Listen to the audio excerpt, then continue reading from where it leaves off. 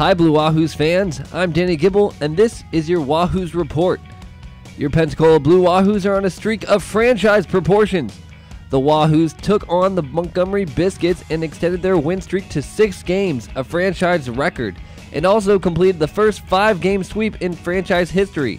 Our fans were there capturing all the moments on social media. Fans started out by having fun in the sun this homestand. It was great weather for our friends over at the Blue Angels as well, who had their big air show this Saturday.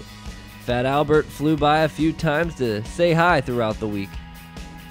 The winning continued, and so did the smiles, as the Wahoos kept playing great baseball. This lucky fan snapped a picture with Marquez before a game.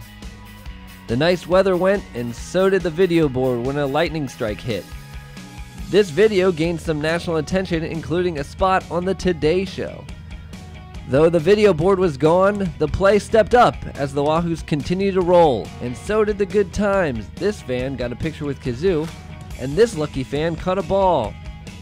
It was a homestand for the record books. And be sure to come back July 20th as the Wahoos start a seven game homestand with two against the Jacksonville Suns. Thanks for watching this episode of the Wahoo Report. I'm Danny Gibble.